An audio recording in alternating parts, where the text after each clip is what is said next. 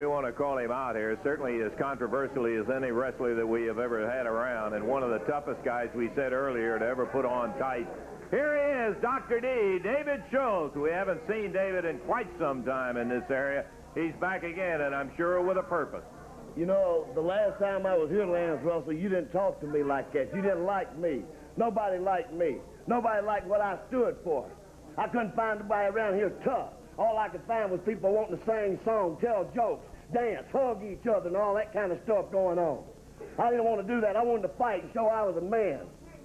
So I went up north, baby. I went north, I went south, I went east, and I went west. And I whooped them all. I beat the biggest and the baddest supposed to be in the world. Hulk Hogan. Hulkamania running wild, they say. I challenged him on national TV. I will beat your butt, boy. I will take him down here, right here in front of you. He is invited to come here. And if I don't beat him, I'll never wrestle again, Lance Russell. I've been sitting back here watching the monitor. I can see that Jerry Lawler, the mouth of the South, is still running his mouth. Why don't you get some dancing bears and bring them down to the arena? And the disc jockeys out here, they're all up there singing each other's songs, talking to each other, rapping, running it down. Ain't neither one of them had a, had a fight in their life don't know what a fight is. Why don't you come up to the doctor, baby? Why don't you come up to me and say it? I'll slap you down. I'll slap you down like a red-headed stepchild right to the ground. Because I'm sick and tired of it, baby. They suspended me. They suspended me, told the world, said, get him out of the wrestling. We don't want him. He's too tough. He's too rough. Nobody wants to sign contracts to wrestle me because they're afraid I'm going to hurt somebody. I'm going to break somebody's leg. I'm going to break somebody's arm. I'm going to slap somebody's face. You know, this hand gets to itching every time I get near an announcer. With, I just want to slap people. But I won't slap you because I've learned not to slap old men around, you know. I'm looking at these young, tough people, and it just made me sick. I just wanted to vomit right back here a while ago watching these disc jockeys talking about what they're going to do to each other. You ain't going to do nothing but run your mouth and go out there and kiss each other on the lips or hug each other. Get down and fight, baby. Get down. Get down. Get down and fight. And I love the style of Norvell Austin and the other man out here. I love their style with them belts. There's going to be more of it. So, Lawler, I have always wanted you. I have always wanted you, Randy Savage. I've never had a chance at you either. I want a chance at anybody. Anybody that won't come up and give me a match. But I don't want no punks. I don't want no kids. I don't want no wet behind the ears babies. And I don't want no TV announcers.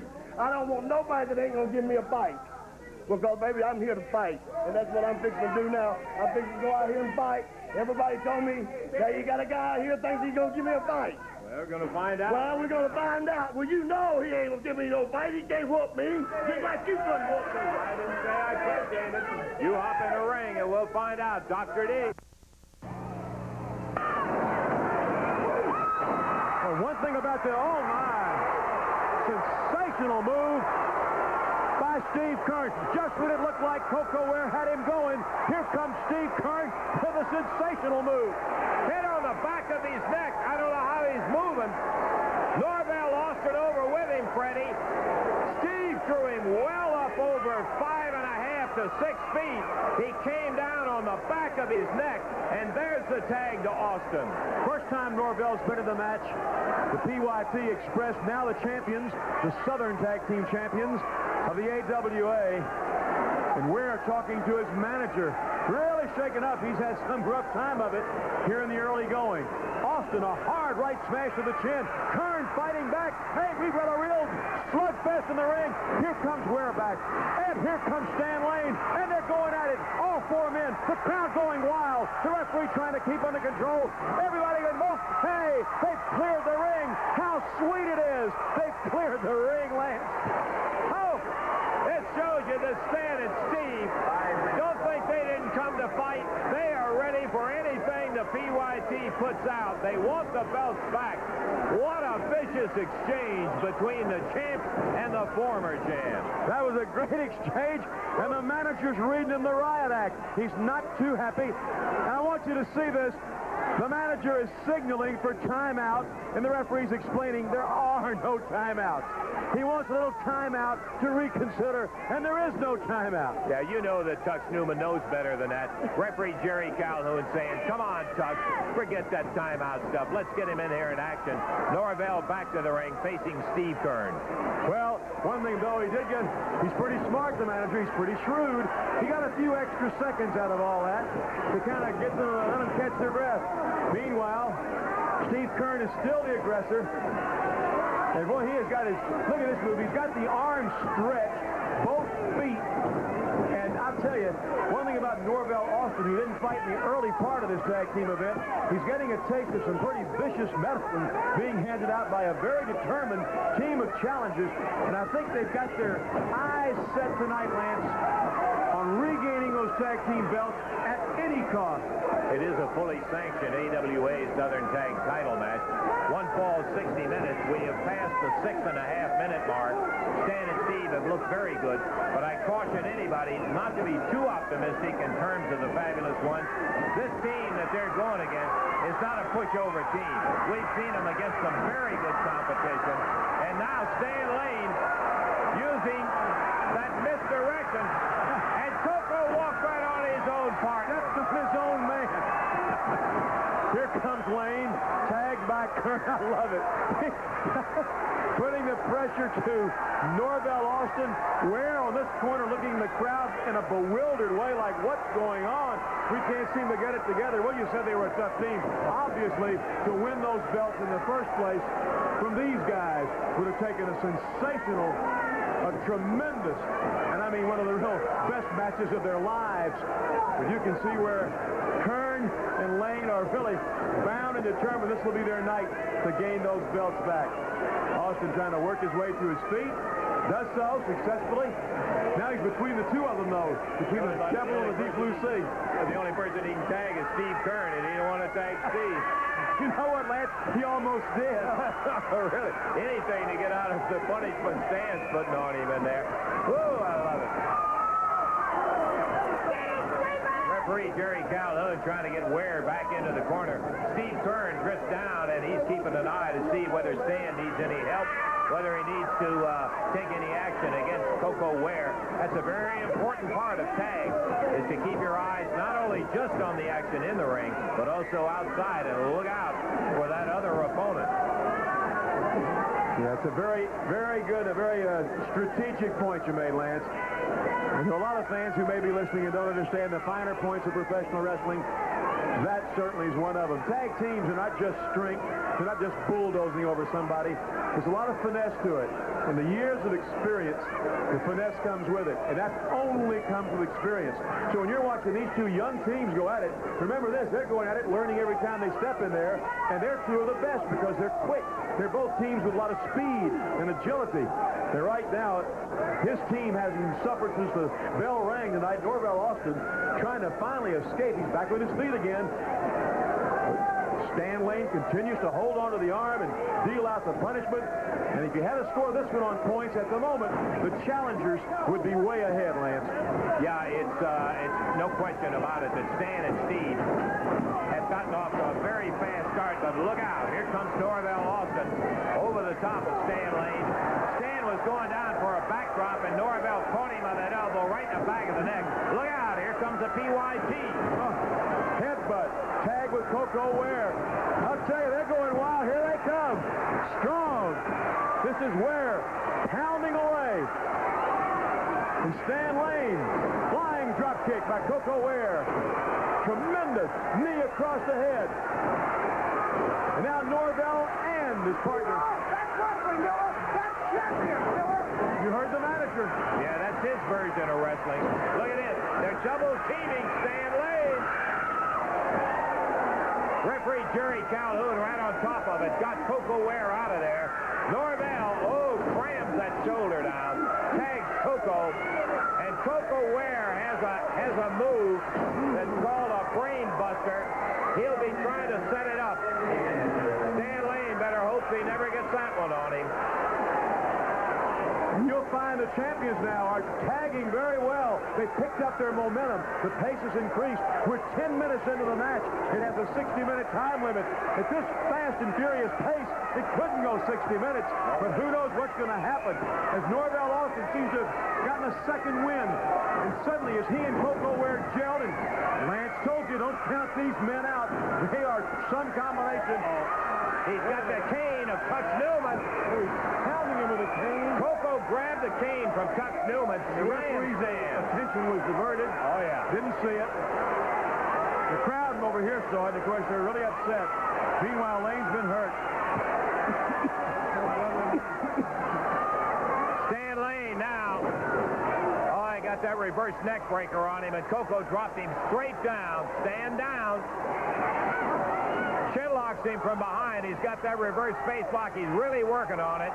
And I can't tell whether that wrist bone is into the uh, carotid artery on the side of the neck or not. But he may be trying yeah, he's putting a sleeper on him, Freddie. This could be it. The sleeper.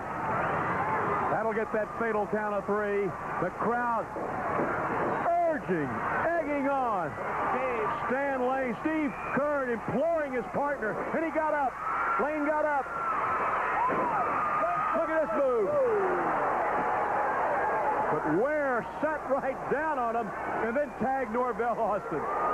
Stan was trying to get him into a sunset flip, and Norvell, or rather uh, Koko Ware, had his balance in such that he just dropped straight down, and Stan is in very, very serious trouble at the moment. From a football stance, Norvell Austin, a shoulder smash into Stan Lane. And these two are really going at it with everything they got. Smash into the mid- midsection by Lane, but he's been hurt. Norvell waving Ware in. He the had to referee, that. right? The referee warning Ware. Now, from the top of the rope, Ware, as he was held by Norvell Austin, Lane was hit by Koko Ware. Here it is again. The referee missed the tag from Stan and Steve. He ran Steve out of the ring. Woo! Got a two count, and I mean, there was less than a second before that third count was coming down, Freddie. And there was an example where just a split second saved their their night so far. That would have been the attempt to win the belts back right there. Arm twist. As Lane, who's really been called on for a long showing in the ring, he's been giving it everything he's got. Needs a lot of stamina. He's been pounded. But he's still in there, staving off the attack. And as Lance told you, he made a legal tag, and the referee didn't see it, and kept Lane in the ring. That may very well be the turning point of the entire match for the Fabulous Ones. Stan Lane trying to battle his way back. He wants room. Go for the corner. He started, but he got blocked by Norvell Austin. Again, that football move. Yeah, the wrestlers know moves from different sports, and they use them. Chin lock by Koko Ware. And Lane, he has been in this ring for a long time, Lance. I don't know how long he can stand it because he'd better get Keirn in there quick, or this may be curtains for the former champion. This is a place where Koko Ware is as big as any man in wrestling. He's got Stan down on the mat, and when he puts those powerful arms around you, boy, he can really wreak some havoc, and he's doing that right now. Koko Ware, now with Stan coming to his feet, shoots an elbow, backing him out of there. He's trying to get over to Keirn. So far, since their tremendous comeback earlier in this match, Austin and Ware have prevented the tag between Keirn and Lane. And now, getting set to climb up on those ropes again. Here's Austin moving down to one end. Here's Ware climbing up on the other. Here's their manager urging him on. A dive, and he missed. He rolled away. He rolled away, Lance. hit his head on the mat as he came down. He was trying to use that cocoa butt on Stan in the center of the ring after he had decked him with that side suplex. Climbed up while the referee was over with Norvell. Stan had enough composure to move out of the way. Tag is made. It's Steve Keirn in to take on Norvell Austin. He's taking on both of them. and Keirn is going wild. 15 minutes past, 45 to go, and look at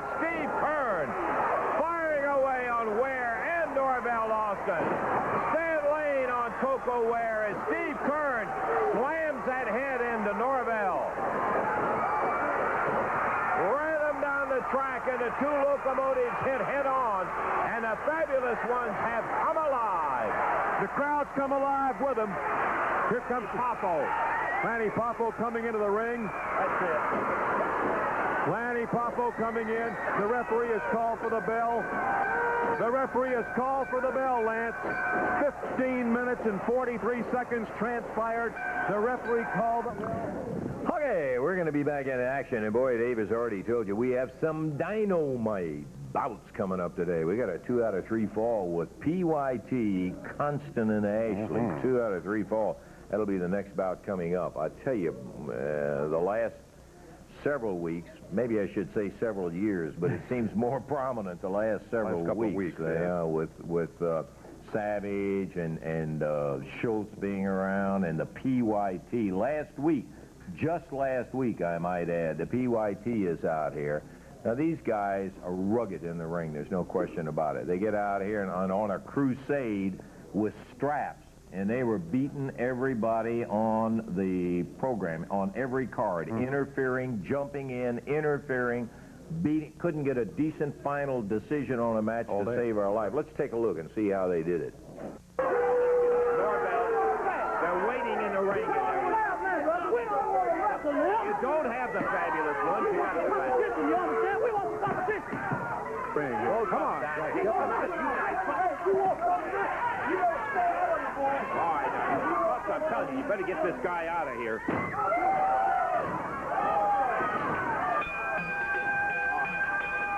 that is sickening. Koko Ware and Norvell up there just beating the stew out of the backs. They've got welts all over their backs. And a half minutes gone. And look out. Oh, no.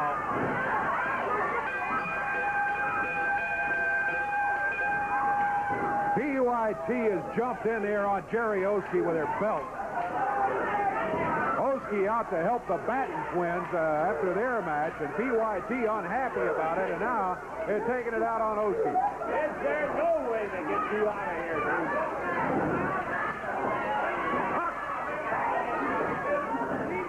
Ah, PYT.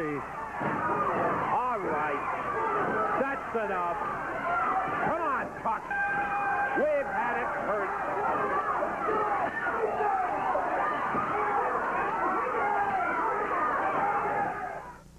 That's the PYT, and you're going to see Constant and Ashley in battle with them here before too long. That'll be our next match coming up. The gentleman I'm staying with, very distinguished gentleman. By the way, I think I, I didn't get the message today because Dave has got on a very uh, handsome suit. Uh, Mr. Tom Renesto, who represents uh, Jarrett Promotions now, is here with us, and we want to introduce uh, Tom. You're looking very dapper today in your suit. As I say, I didn't get the message. Well, thank you very much. Uh, make it very briefly. Uh, by since I've been appointed to Jarrett Promotions, it is the, the of course Jarrett Promotions wishes to give the fans what they want. I have a very important announcement I'd like to make.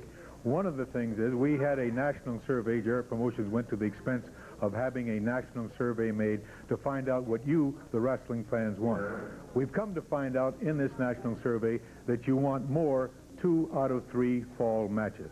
They feel that uh, two opponents like that, it will certainly increase the uh, competitiveness in the match, and uh, it will prove more than once that who is the best by having two out of three fall matches. We're going to have one, in fact, here Yes. on television today. The other thing that Jarrett Promotions uh, took into account on this national survey was that people, you the fans, are sick and tired of having this outside interference. Yeah.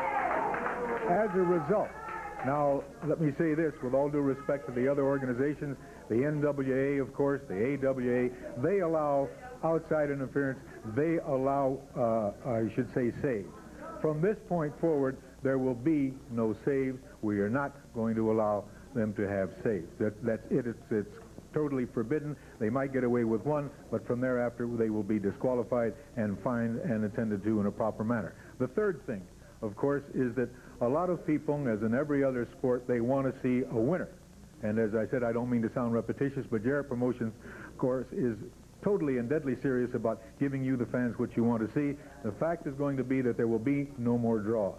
In the event that there is a draw, we will employ the sudden death, five-minute sudden death. So if you've got a one-fall 15-minute time limit match, Tom, and the time limit runs out, it will be decided by a sudden death, right? Indeed so. It will have a sudden five-minute sudden death, and the participant in that particular match that uh, does the best or has most advantage will be awarded the match. I'd also like to say to you, ladies and gentlemen, each and every one of you, we endeavor, we of Jarrett Promotions are endeavoring to give you the very best, bring you the very best in professional wrestling.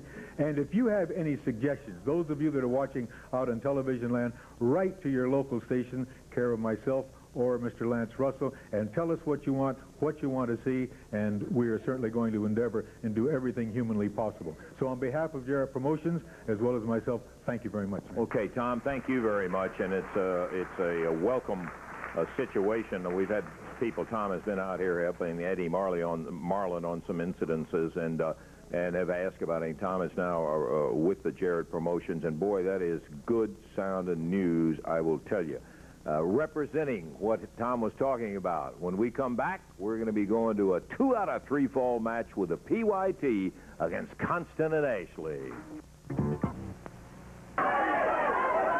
Okay, we got him in the ring, and we're about ready for the introduction, Dave. All right, from Louisville, Kentucky, at a total weight of 457 pounds, Steve Constant and his partner Tim Ashley.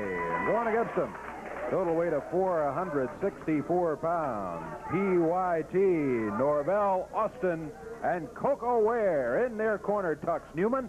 This match, two out of three falls. Best two out of three. Overall time limit, 30 minutes. We'll be starting in there. Let's see whether it's Tim or Steve, and Norvell or Koko will be going. Tux Newman at ringside. What you're seeing is not a turtleneck sweater that's too big for him. It is a neck brace that Tux has on. He has uh, suffered a little of the indignities that some of the people who have been against his men have had to suffer. Koko Ware starting out, going against Steve Constant. Tag on Norvell Austin. And this this time when they meet them, they don't have straps in their hands. They're facing a man-on-man -man today.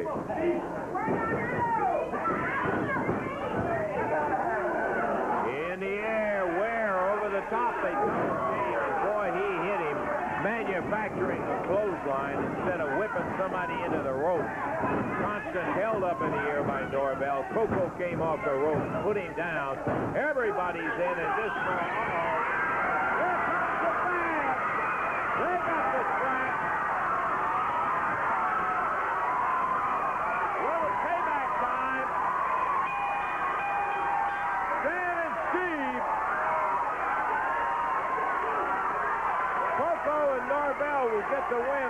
disqualification, day. Disqualification, the ruling by the referee on Constant and Ashley. So Koko and, uh, and Norvell do get the win, but it's only the first fall.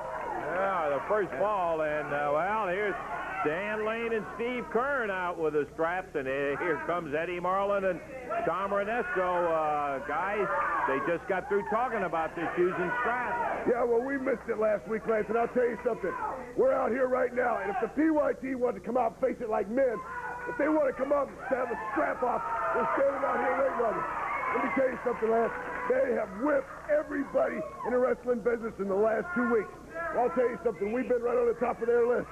I ain't going to get whipped again. I'm carrying my own strap.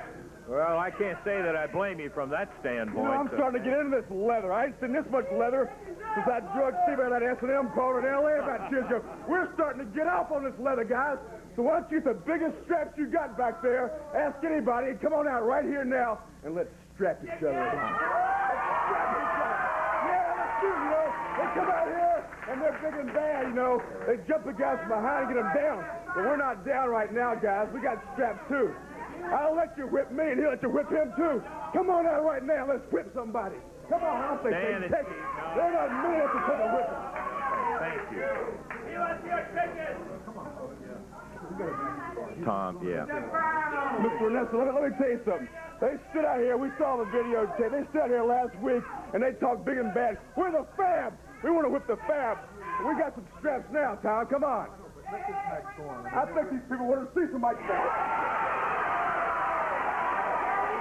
We've had so much interference here, and y'all don't want to put yourself in the clash with them, so just if you just leave it there, let us get the match started up again. Maybe, maybe this little gal can whip too. Billy Travis. Huh? Well, okay. What is this, Billy? I'm just delivering a message. Uh, the PYT will not come back unless they leave the arena with those straps. That's the, Well, no part of it. okay, okay, Billy.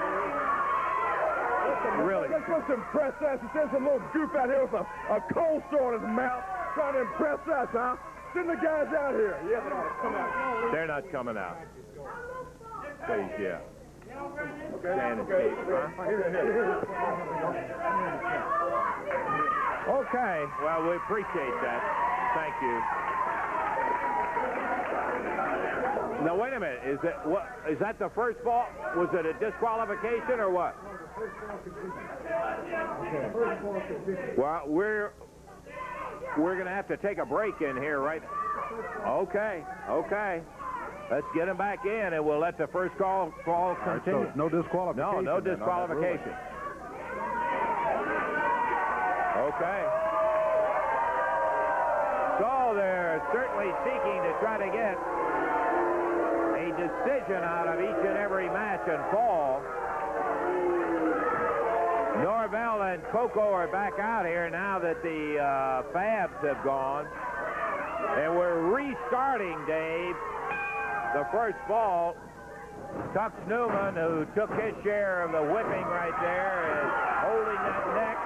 And Tim Ashley on Koko Ware whips him in. Big backdrop. What a dandy. We restarted at the 58-second mark, and Constant and Ashley going after Koko Ware here.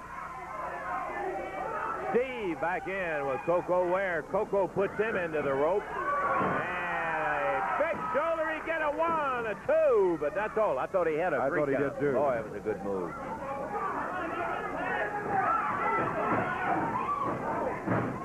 Constant going after Norvell Oh, and he takes a shot to the midsection. Boy, let me tell you, we don't care one whit for the tactics of the PYT, but they are rough in that ring. Oh, here comes Stan and Steve again. They are not going to let PYT get it and while Constant and Ashley are banging away on Norvell outside the ring, Stan and Steve are destroying Koko Ware inside the ring. Constant and Ashley put Norvell down. Stan and Steve to dish out some more to Koko. They're not going to let it rest. Here comes Eddie Marlin with Tom Renesto again. Whoa! Gee, with that chair. He got it with it, too. Tell me about how tough the fans are. Well, we're going to have to get a decision on the first ball, but I tell you what we better do. Let's take, a, break. We're a little behind on it. Let's take a break, and we're going to be back in just a moment. Constant and Ashley back out in the ring, ready to go with the second fall, Dave. And you know, PYT may be looking over their shoulder. They Uh, better be. You got that right, because the Fabs, no question, they are intent on getting a little revenge on the PYT for everybody that has been strapped and abused by the PYT. First fall, checking with referee uh, Jerry Calhoun, it looks like goes down as a It, disqualification. it is going to be. Yeah. They they tried. Uh, he he disqualif- uh, disqualified him at first, but then the promoters tried to keep that first fall going on. But then uh, when the Fabs came back out here again, had no choice. Let the disqualification stand. The uh, word of the referee is uh, disqualification. in the first fall. So Constant and Ashley are one fall down in this two out of three fall match. Yeah, they starting the second fall will fall down, and uh, Tim Ashley was just over saying, where are they, where are they? And they have not returned. Wait a minute, wait a minute. You listen to me. I'm going to get Melvin Belli, my lawyer, in Beverly Hills. I'm going to get him on the phone. They might have dislocated Koko Ware's arm. Do you realize that? His arm might be broken, dislocated, fractured. Now listen, I got this boy here. This is one of my men. And this man's going to go in there. Norvell, you take him as your partner. You go in there. I'm going to call my lawyer in Beverly Hills. We're going to sue the Fabs for everything they got for what they just did here, attacking us for no reason. Oh, Don't you I see. understand that? Uh-huh. Now you go in there. Well, I got a feeling it's not going to hang and stand up too much. Billy Travis coming out, joining Norvell Austin. Koko Ware, whose arm was injured by the Fabs, and this is the second fall of a match with a substitute over on the PYT side. Billy Travis joining Norvell Austin. Ooh, Travis slapped Ashley on the break. That's one thing you don't do. Ashley answered in kind, and now Travis out here to talk to Norvell and Tux Newman. Here comes Koko Ware around the curtain. He's got his arm in a, in a makeshift sling. Koko, I, I am sure with that arm wrapped up, there's no way he's going to be heading back into the ring. As he will, I'm not going to put up with this stuff, man. You see those back fighters jumped in the ring. They jumped us from behind. But they got to pay for everything they did to me. Look at look at my arm, Russ. This hurts bad, man. If I had to take a brick, if I had to take a 2 by 4 I'm going to get even. I guarantee you, Fab. Your day is coming. It's coming soon. well, I think that you probably saw that the Fabs aren't going to put up with it either. You, what do you guys? I can't have any sympathy, Koko. Last week, you guys jumped and beat everybody out here with scraps. We did not jump everybody. They started jumping us first. You know they did. Okay. And the Fabs jumped us.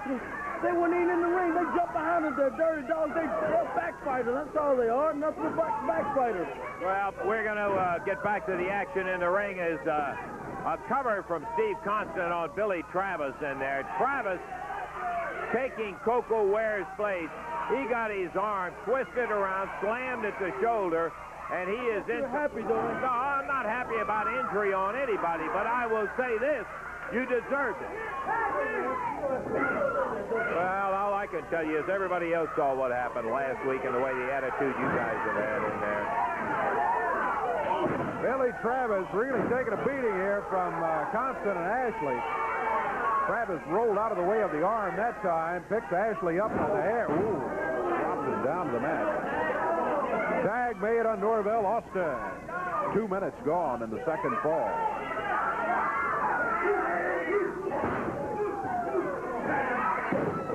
Billy Travis is not as well known as Norvell and Koko Ware.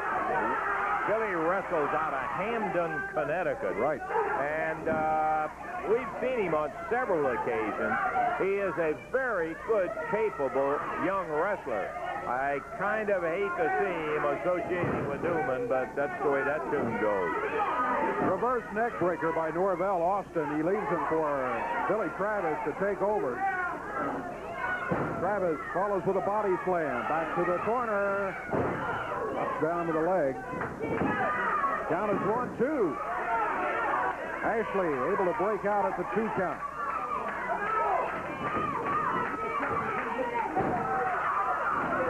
Out for the Travis. front flip.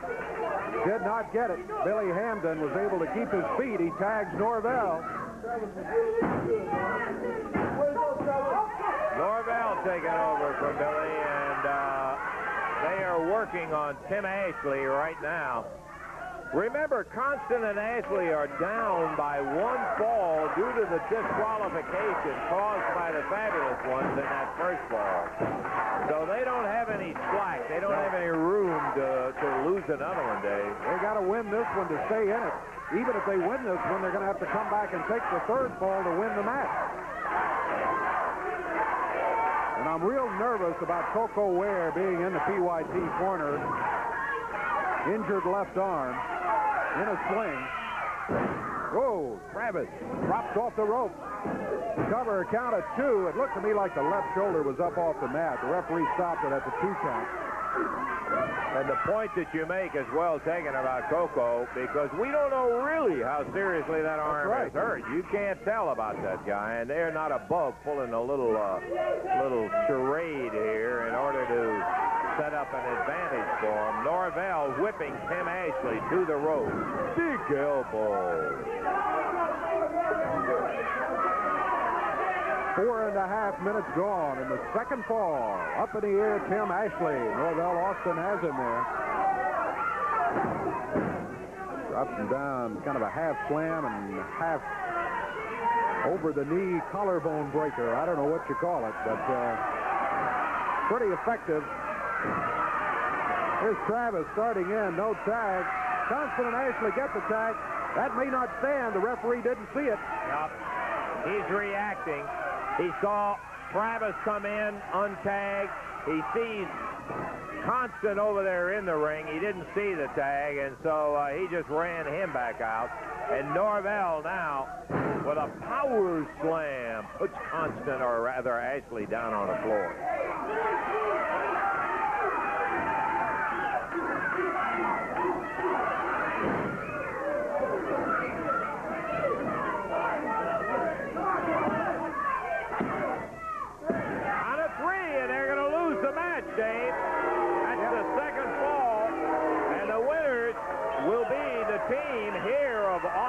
Travis. Oh, they got the belt come out again.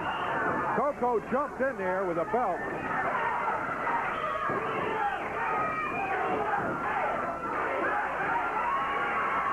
Here comes Steve Keirn, Stan Lane. Hey! They got it straightened out. But for Steve and Tim, they end up dropping the match, and it was an important one here on television as they lose the second fall, having lost the first fall by disqualification. Absolutely. They lose by uh, two to none. So the team uh, first, Norvell and uh, and uh, Koko winning the first fall, and then Norvell and Billy Travis the second. Okay, timeout. We'll be back with more action in a moment. He's going to put a pile driver on Newman.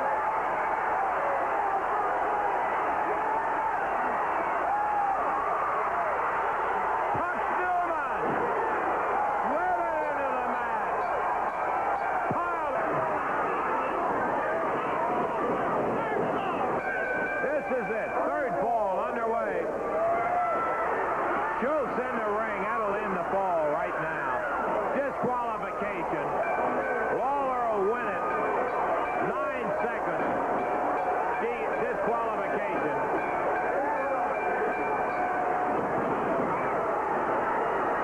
Schultz slamming Lawler around. David, boy, he blasted him with that elbow. Savage trying to come out while Schultz holds him. Well, there it was, and that's why you see Lawler and a mystery partner against Schultz and the Macho Man. We'll be seeing those two together right after we take time out for this break. We just saw Tux Newman go walking away with a big smile on his face after the kind of treatment that the Batten twins received at the hand of David Schultz and uh, uh, his partner Randy Macho Man Savage. Newman obviously a little happier than he was after he took the uh, lashing. I'm going to get my lawyer. That's another story in the world. I'm going to sue everybody if I have to, including this TV station, including you, and everything that goes with it. But I want to talk about somebody who is so fabulous, who is so incredible as far as being a wrestler, and I'm talking about Bruce. What do you want? I got one thing to say to you, you big fat piece of garbage. What? I want all these people, I want everybody watching this to look at this. Look at what? Look at what? Your boys did this to me. What? My man. I My don't man know. did it. Oh, you, you got a scratch. Well, Lance, I want to say this to everybody. You, got a boo-boo? you want me to kiss the boo-boo? Every- If you can't stand wrestling, if you can't stand a little scratch, then you get out of wrestling, man. Everybody you here get out of wrestling. is my witness. this man out. This is my time. If I have to go to Beverly Hills, California to chase him Get out. and his boys. I'll do it. These people I don't like hear you. whippings. They want to hear the touch man. You got I'm not going to take this anymore. On it. You guys, out. I'll get you for this.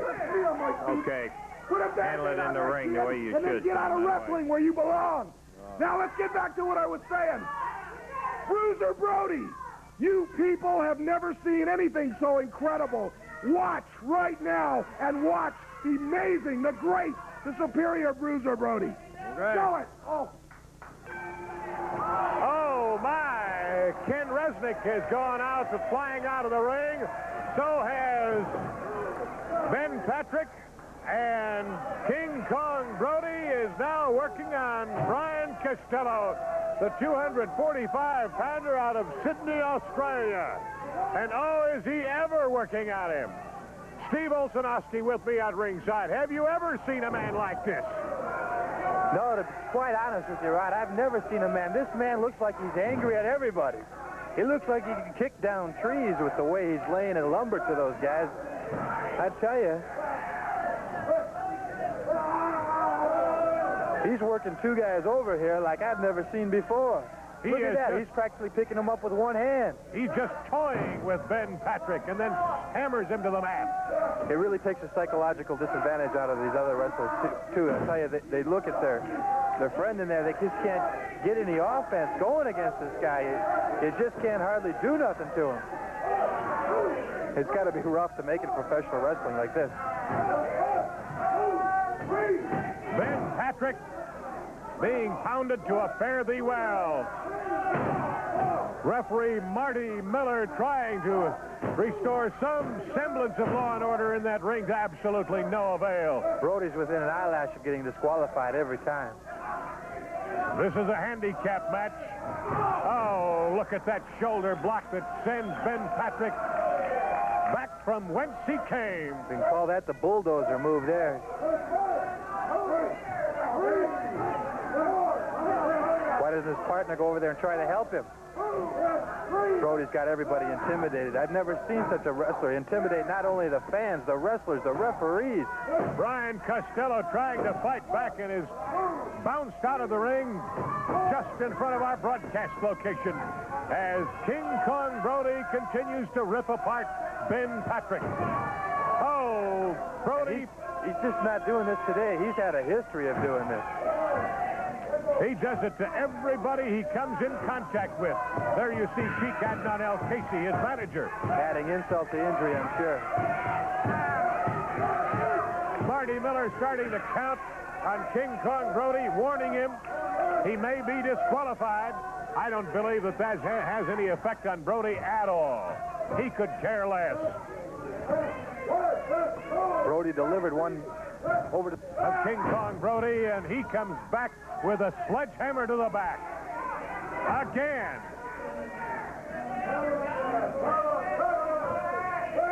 Again, Brody rips into the rhomboid major muscles of the upper part of the back. Just think if Brody could apply all this energy to being a, a football player or being a basketball player or just being anything.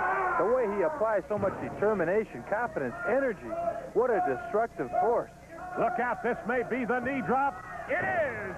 This is the finishing hold of King Kong Brody, and he has Brian Costello flat on his back at a count of three, and then he tosses him out of the ring. Then he brings Ben Patrick back into the ring. King Kong Brody just never, never stops. King Kong Brody, who rips the claws across the face and hammers the right hand to Steve Olsonoski, picks up the warrior from Edina and slams him to the mat.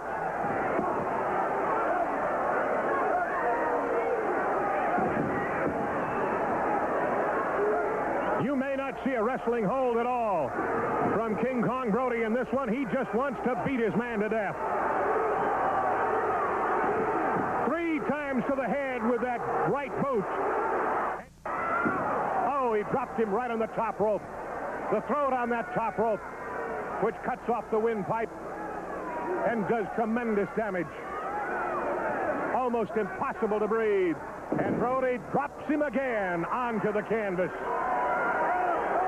Now, what does King Kong Brody have in store? There's a knee drop to the midsection. A cover, a count of one, two, and three. And King Kong Brody has stopped Steve Olszewski. Let me tell you something. Don't try to keep King Kong Brody from wrestling. The Sheik pays me good money, and he pays me money to come up here and hurt people. And whether the promotion wants to book me in this ring or not doesn't make no difference to me. I'll get in and fight when I'm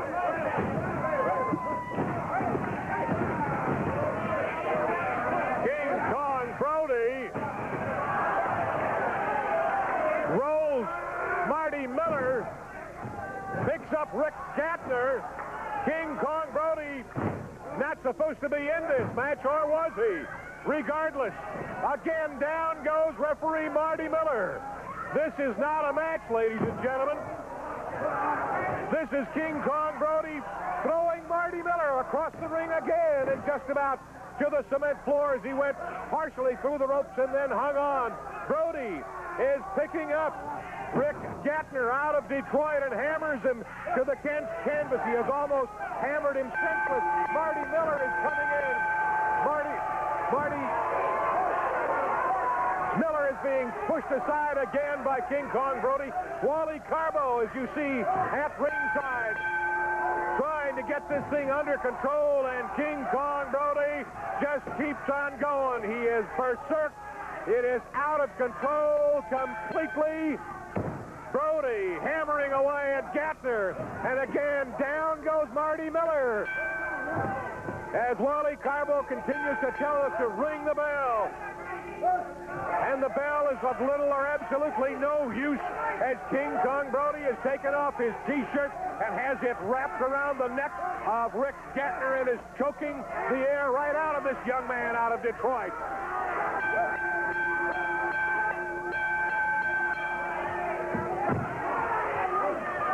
Carbo is shouting to Rick Gatner. King Kong Brody has taken off one of his tennis shoes, using it as a weapon. Marty Miller is out of the ring.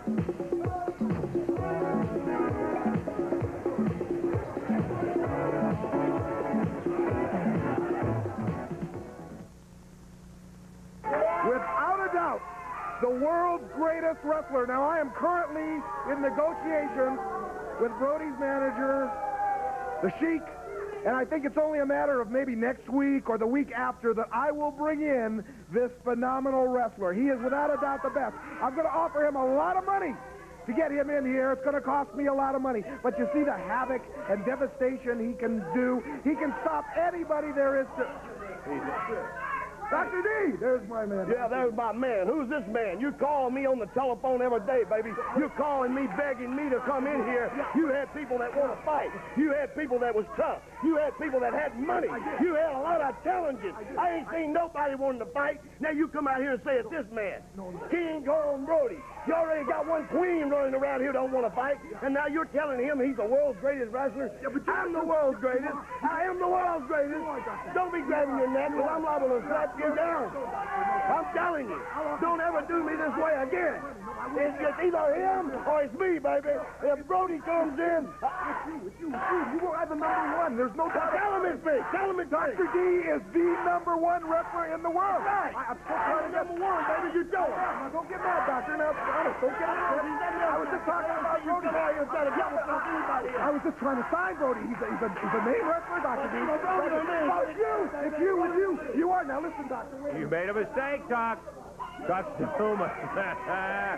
uh, he, has got Dr. D, who is no guy to get mad at you. Dave, let's hear what's happening out of town. All right, we got lots of action coming up around the territory in uh, coming weeks. And we're talking about the King, Jerry Lawler, who will be not only in Jackson, but he's going to be right here in Memphis town on Monday. That's right, Lance, and I'm looking forward to it. You know, let me talk for just a minute here to David Schultz.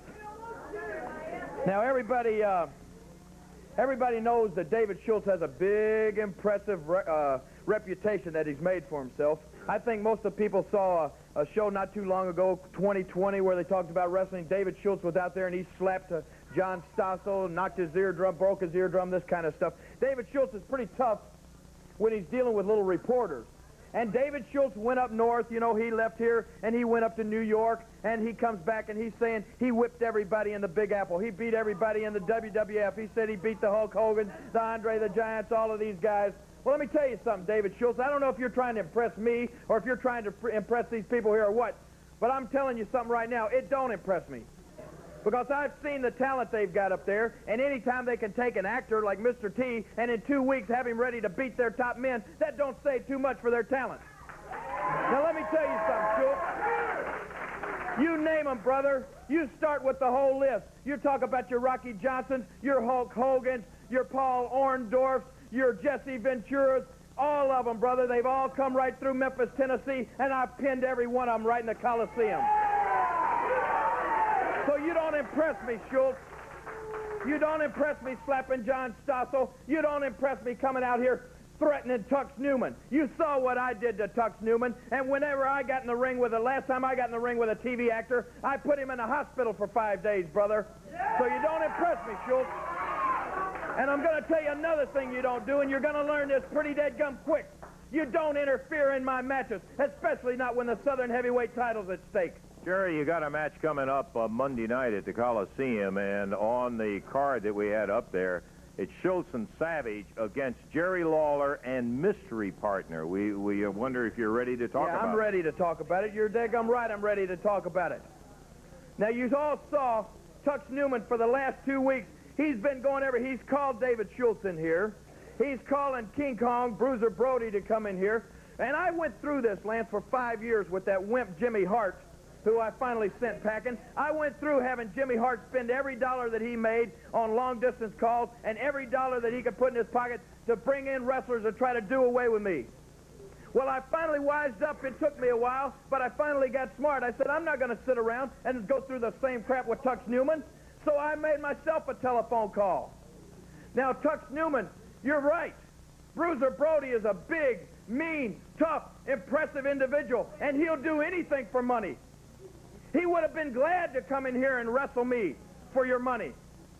But he was more than glad to come in here and be my partner because I offered him a little more money. What? So Bruiser Brody, the man you just watched, King Kong Brody, is going to be my partner Monday night.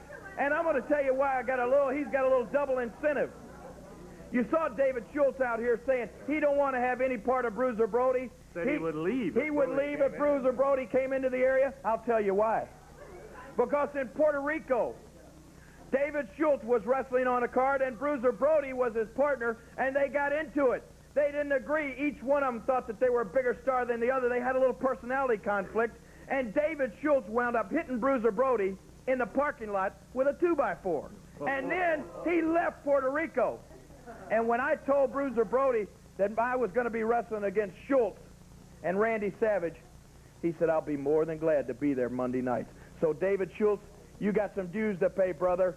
Bruiser Brody, six foot seven, 308 pounds, and the king. And you out here talking about Savage and Schultz, who's going to beat them? You're going to see Monday night who's going to beat them. Whoa! I want to find out. Can you believe that? The guy that Newman was just standing out here blowing to the sky and all that, Bruiser Brody, that's the mystery partner that Jerry Lawler's going to have Monday night. Let's take time out. We got more action. There was no double cross. Is anybody trying to intimidate anybody? I mean, out there now, is there somebody that's trying to intimidate somebody like Jerry Lawler? See, we don't have to come out here yelling and screaming or anything, because I am the Southern Heavyweight Champion of the world, Lance Russell. You understand? I know you got it. I know. People think that we're crazy, but we're not crazy, man, because we don't have to intimidate anybody like uh, Lawler and Brody are trying to do. You know what happens when Dr. Death and the Macho Man tag team and go against Brody and Lawler? Oh, yeah. They're going to hear about it all over the world when Dr. D and the Macho Man do the thing Yeah. you guys, yeah. Hey, Brody, First come- thing, first thing I got to say is this, Lawler. I don't have to impress nobody because you just impressed yourself by coming out here making a complete fool out of yourself, telling everybody how you followed my career about the people that I have beat. And you know the people I have beat. And you come out here and tell people that you had to pay more money to get Bruiser Brody. That's right. Because I found out something about you, Lawler. Nobody wants to be your tag team partner because you've got a disease, boy. I've checked on you. You have a disease, and they call it AIDS. I have checked on. Nobody wants that to do with you. But I got another thing to tell you. You're right. I hit Bruiser, Brody. I hit him with a stick. But you know why? He caught me holding his woman in my arms. Yeah, that's what he did. And he jumped me, and I taught him a lesson. Now, Lawler, I want to tell you something about your woman, about your wife and your girlfriend. The doctor might have had his hands all over her. Who knows? I don't have to trust nobody, big boy. If I had to pull this man off of you, baby, last Monday night, he would have killed you. He would have took your life right there, big boy. I had your life in these hands, Jerry Lawler. Like the great film of God's up above, baby. I could have took your life just like that. It was all over. We're going to hear about this man all over the world, Lance Russell. I can believe it. Paris Springs. Okay. I won't be double-crossed again. Monday night, we will destroy Lawler. Okay, let's go to the ring. We got some action coming up. I'm waiting on you, Lawler. Come up and slap me. Making his way toward the ring right now is Miss Oh, have you been hearing Ted Lewis talking about the sale they're having at Showcase Mobile Homes? Well, I'm here to tell you, I've seen those homes, and they are beautiful, spacious, too, up to 2,100 square feet. Listen, they're knocking $2,000 off the price on these double wides, and where do you hear this? You can get up to $1,200 on your choice of a satellite dish, a well, or a septic tank when you buy any of their double wides. No money down to qualified buyers. So what are you waiting for? They'll treat you right at Showcase. By golly, I'll tell you one thing. When Jerry the King Lawler has a special, it is in fact special because here is a man that is an exception. He has done it all except win the World Heavyweight Championship. The King right now has on his mind the Macho Man who put him out of action for three weeks. Let's take a look now at the very special Jerry Lawler. May God bless and keep you always.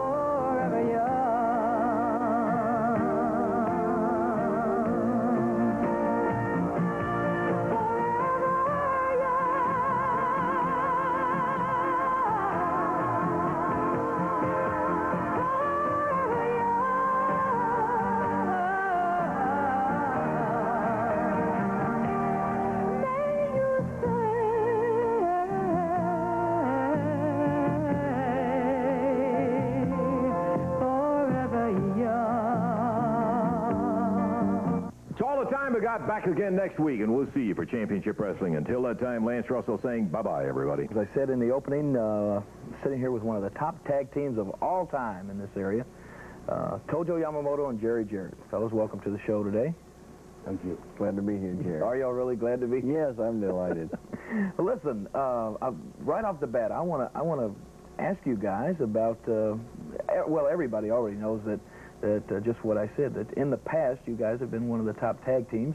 Uh, Jerry, you gone you have gone on uh, since that time to uh, kind of leave wrestling by the wayside there and concentrate more on promoting wrestling. but now you're returning uh, back to the ring, and you and Tojo are going to be back together tonight, as a matter of fact, up in Jackson, Tennessee. Is that right? Yes, we're, we're going to be there, and I'm really looking forward to it. Uh, by way of brief explanation, Jerry, when I started into the business, my goal was to was to be a, a champion or the top in the profession. And the longer I got into it, the the more, from my viewpoint, being at the top was was being in the promotion or, or having a wrestling company. So, with a lot of good luck and uh, uh, a lot of help from a lot of people, I accomplished that A lot goal. of good wrestlers around. oh, go ahead. and uh, and then also at the same time that I was accomplishing that goal, there were some guys around that wore a little crown on their head and, and hit you like a mule, and uh, that made retiring look a lot more attractive Yeah. from the ring itself. So I um, I retired about four years ago, and and and you know I was trying to think um, how I would explain coming back, and it's just a simple matter that um, it's strictly for me. I am happier wrestling than I am not wrestling.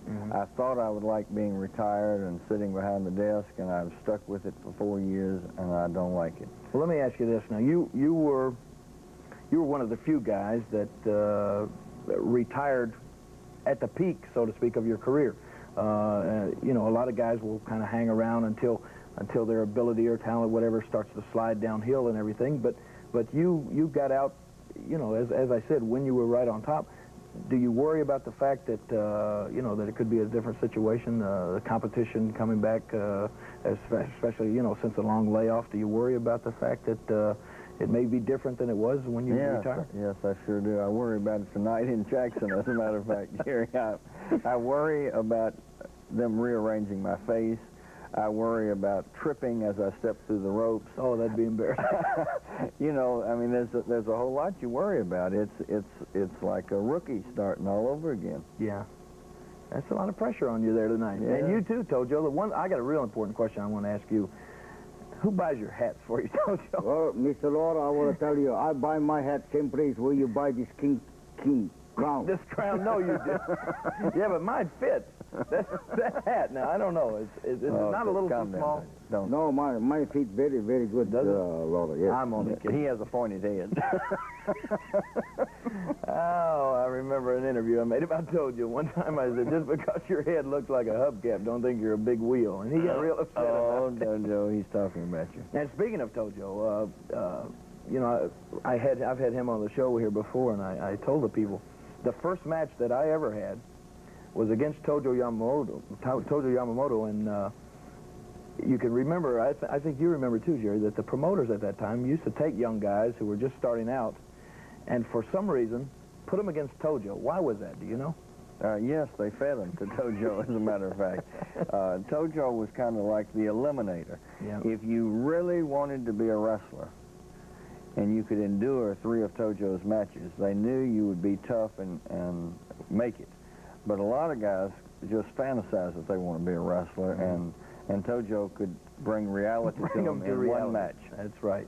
Well, Tojo, how do you feel about this uh, reunion, so to speak, tonight? I mean, are you looking forward to it? Yeah, Lo- uh, Jerry Lola, I want to tell you one thing. Uh, just like before, when when your great uh, manager Sam Bass died, you know what kind of feeling and emotional you've been, right? Oh, sure.